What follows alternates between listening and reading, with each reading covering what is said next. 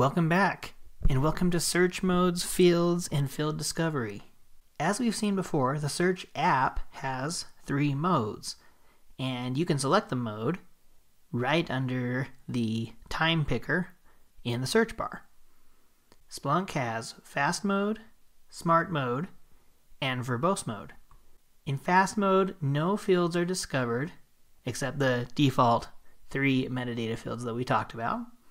And Splunk assumes that you know which fields you want, and you've specified them in the search string if you use fast mode.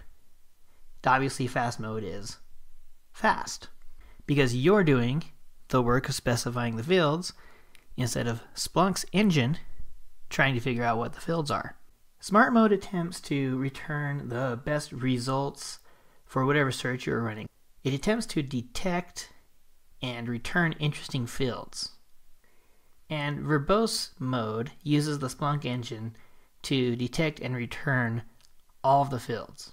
Verbose mode is slow, but if you're not sure what fields you will want to report on, if the dataset is, for, for example, unfamiliar to you.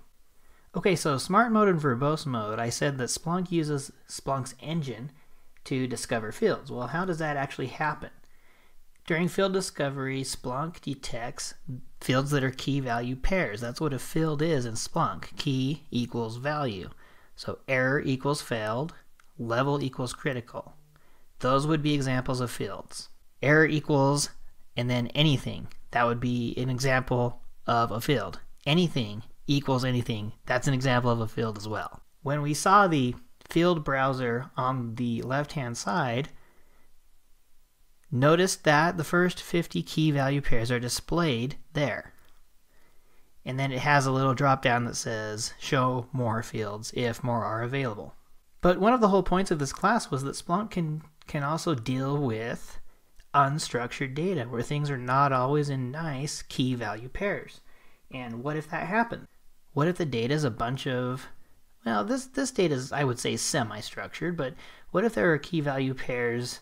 What if there are fields in this data, for example, that you want to extract but that are not in nice, neat key value pairs? Well, Splunk has a very powerful and very useful field extraction tool. And it's pretty easy to use. The engine behind it works using regular expressions. However, Splunk has some tools built in to help you because regular expressions are kind of a pain to write and not everybody knows how to write regular expressions. And of course it's beyond the scope of this class, but I will show you how to use the built-in tools with Splunk in our demo. Let's go to the search app.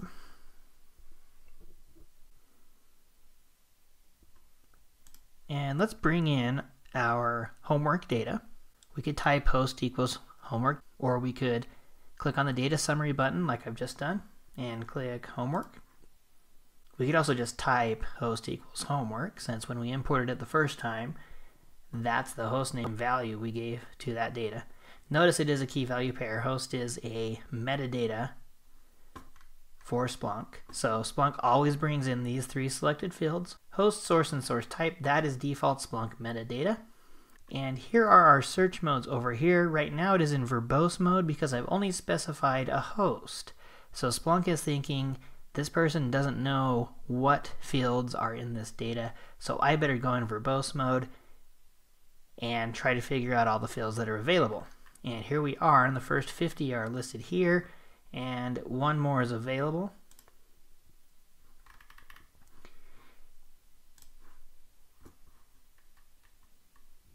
And let's say that none of these fields that Splunk has found in verbose mode is a field that we want. So we can go to extract new fields and this will bring us to the Splunk field extraction tools. And if you're really good with regular expressions, you can write the regular expression yourself.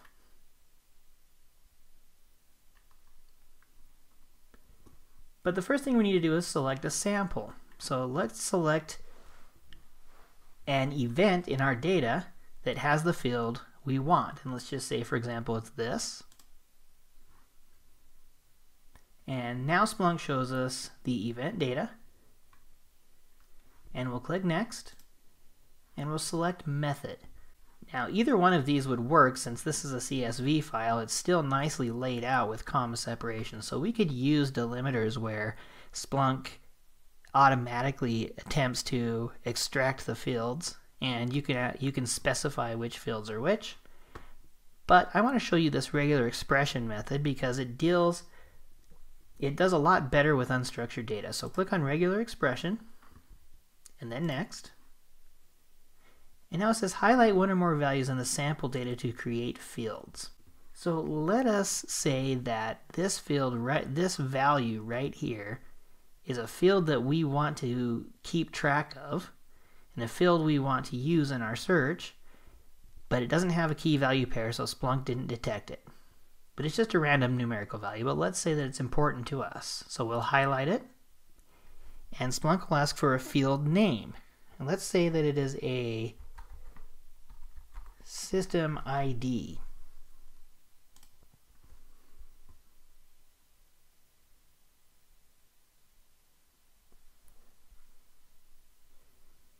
Now it says, look through the data and verify that the right fields have been extracted. And Splunk has actually written a regular expression behind the scenes. And let's click next and we'll validate this. Everything looks good. If there's if Splunk has detected something that was not what we meant to extract, we can just simply click the X there and it's sort of teaching Splunk. We'll validate it and we'll name the extraction. I don't really care what it's named, so I'm going to leave the default. And we'll set permissions. I like to set all apps unless there's some specific reason that I am restricting access. And we'll click Finish. And we'll click Explore the fields I just created.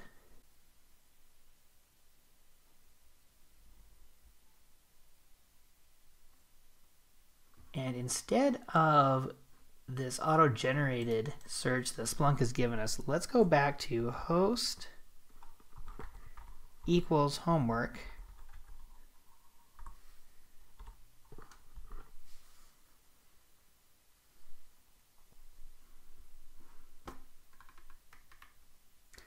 And notice that now this field, system ID, is detected and it is those numerical values. So now we can use that field in our search. And we'll bring in all the system IDs. And let's make a simple table.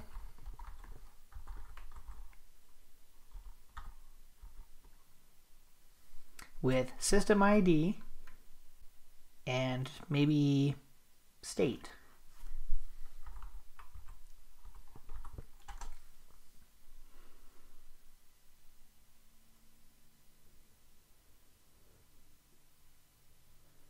Now we can know which systems are in which state. Now Splunk stayed on verbose mode, but we could actually do fast mode on this since we've specified the fields we want and we've created a table with it. Fields and field extractions are extremely powerful in Splunk, and the good news is they're not hard to learn or to use. So I thank you for joining me in this segment, and I look forward to seeing you next time.